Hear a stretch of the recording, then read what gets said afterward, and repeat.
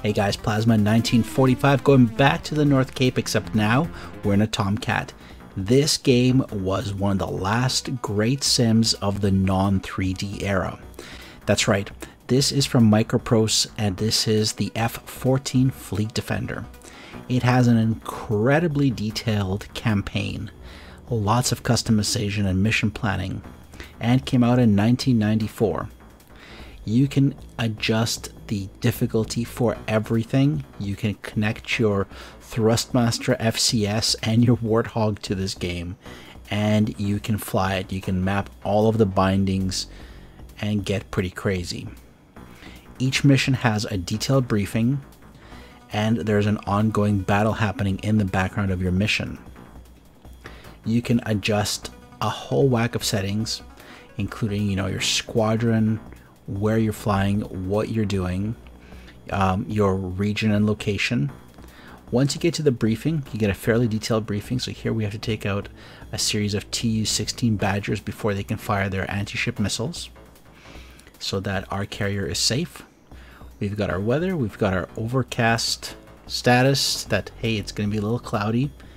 We've got roles of all the pilots, a map, and we can also choose and see details of your carrier, your player, which way you're flying, where the targets are, other aircraft that are going to be operating in the region. So tons and tons of information. So here, as you can see, there is uh, F-16s doing strikes. There are Viggens doing additional air-to-ground attacks, and even some blue MiG-21s, and a P-3 way out to the back there. So lots of information, lots of planning, and all of these things can affect how you're going to fly your mission and if you're going to be successful or not. And we're not even in the cockpit yet, guys.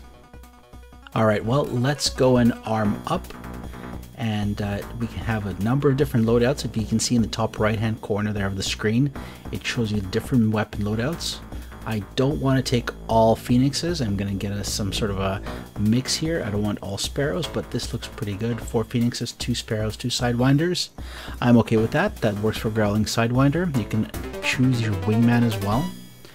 And we're going to go for takeoff. Now, surprisingly, I installed this just to see how North Cape was represented, and I ended up flying for a whole hour. I won't subject you to flying for a whole hour. I'll fast forward through the boring ingress, but you'll be very surprised by the level of customization here. So I figured if I press plus all the way up, I'll get uh, velocity and remove brakes. And guess what? I took off. The same keybinds that uh, worked in the F117 that I am fairly familiar with worked out here. Pressed G to raise the gear, and I am airborne. Everything is fairly straightforward. And the other interesting thing here is panning around the cockpit actually provides additional information. So as you can see here, I can see my compass, my fuel indication. I've also got my RPMs and a whole bunch of other details as well. There you go, I accidentally pressed F to pop a flare because I figured my flaps would be down and, um, well, F, flare, right? Makes sense. Also, you've got a damage control panel on the right hand side, which will light up based on the damage that you take very detailed cockpit for 1994. Really a revolutionary jump, but it is still pictures, so it's not actually 3D, or it's very basic 3D. So switching through weapons, we've got guns, we've got sparrows, and we've got four phoenixes. Alright, so accelerating and climbing. Let's try to go through the cloud deck and see how the graphics look in that uh, scenario. There you go, pushing through 14. Cloud deck, I think, was around 15 to 16 and up, up, and away we go in the clouds, and here comes the blue sky. All right, we're through the first set of clouds, and we are now flying around. You can actually get external views. Not too shabby, but uh, oh, and did you see that? Had some negative G's there. We had a little bit of red. All right, Rio's seat. Yes, you can be a Rio of your aircraft. I'm really familiar with this Rio job, so Piece of cake, right? The radar is sweeping. My range is set out to 200 miles. I'm not going to lock anything up here. But let's get a little bit closer to these targets. See, it says targets out of range as I try to click using my mouse to try to lock up those um, unknown contacts. That's just a matter of time. Just got to get a little closer to them, and uh, I'll see what happens there. Now, here's a question: Do you think there is the bucket, i.e., the um, TID down below? Well, let's take a look. And guess what? There's a TID set to 100 uh, mile range. And there's the actual switch that's set right to it. Really awesome level of detail. Alright, well, I'm not going to pick up anything here. I have to get closer to those targets. So I'll probably should accelerate. Let's give it more thrust. And gets reflected on the screen here. I've probably got my flaps down. 23,000 feet. Well, let's get to these targets. Alright, we've closed the distance some. And we do have some hostiles. So I'm back in the Rio seat. Let's try to get a lock. There we go. Got a lock and a track. Push IFF to IFF. Confirmed hostile. Just like in DCS, guys. Alright, let's go for a missile launch. This guy looks to be about 95 miles or so based on the DDD. I've got a blink on the right hand side. I do have a diamond, so we do have a good lock. On the bottom it says that a friendly Viggen got hit by a AIM-7. Interesting. Some uh, blue on blue action perhaps. Let's wait for parameters and uh, take our shot here. Now I couldn't quite remember at what range I could launch and I'm just looking at the brackets and Fox 3, there goes a Phoenix. And we do have external views. That's pretty awesome. Phoenix is climbing up to 29,000 and 640 knots. So we're accelerating time here because I didn't want to make you guys wait for five minutes while that Phoenix was flying towards its target. You can see its tiny dot as it closes in on a target. Well, and what do we have here? Bring it back to real time. Boom. TU-95 Delta. Hit by AIM-54. All right, well, we've got our first splash thank you, uh, thank you, Tomcat.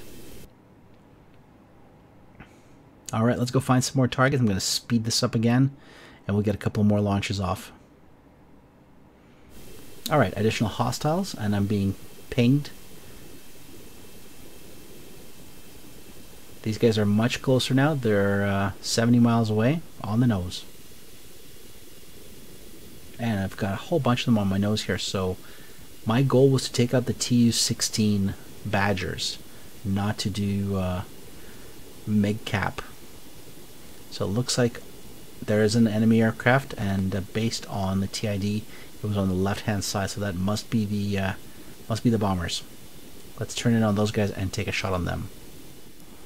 All right, we've got a good closure. We've got a notification that we're ready to shoot. Gonna pitch up and send a Fox 3 aim 54 at this target on my nose now. He's a heck of a lot closer. And missile on its way, and there's some negative G's as I sent that missile away. And for some reason, my wingman decided to fly right in front of me. And again, that's simulation for you guys because I pitched up, the wingman didn't keep up, so uh, he ended up flying in front of me. Alright, let's watch this missile and uh, see what it hits. Alright, the camera is on the AIM-54. Much closer range shot. Oh, there's two of them there. Here's our target. And that kind of looked like a bomber. Well, it says it was a Tu-16, so we'll take it. Alright, second target. Let's lock him up. We saw as the missile flew by that there was two of them. This guy's at about 25 miles. Let's switch to Sparrows. And there's our firing cue on the right side of the HUD. We're waiting for the carrot to get within the two lines there, and we'll go for another Fox 1 launch.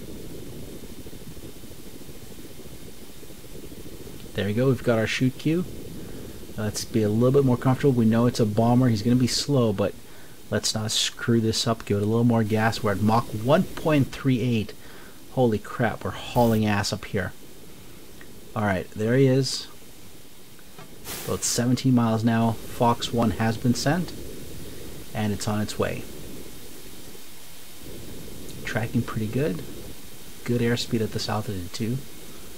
And tracking the hostile. Alright, there's another Badger.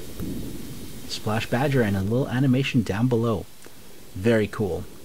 All right. Apparently, my RIO said that uh, my nose swept across a swept across a uh, friendly. Go figure.